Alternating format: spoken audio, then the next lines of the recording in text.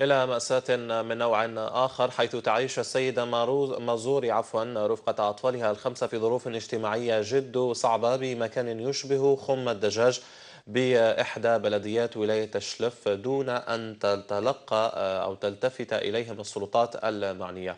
تابع التقرير التالي لرشيد مشبوب وحميد عواتي.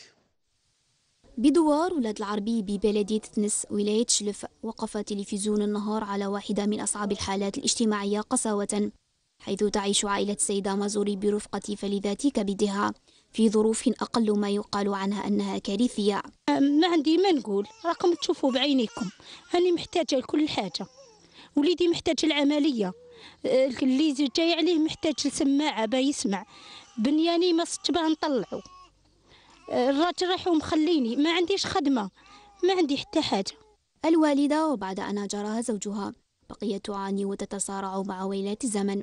فلم تجد سوى هذا الخم لتحتمي به وتجعله مأوى لها ولأطفالها اليتامى.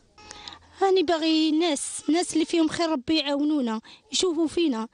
طالبة من رئيس البلديه يعاونني يعاونني في السكنة تاعي باش نستر ولادي.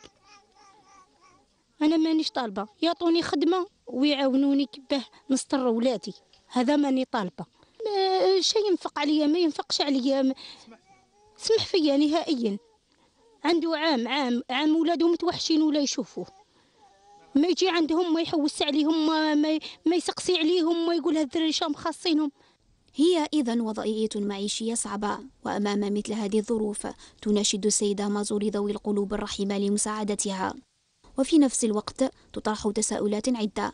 ما دور السلطات المحلية والجمعيات الخيرية في مثل هذه الحالات؟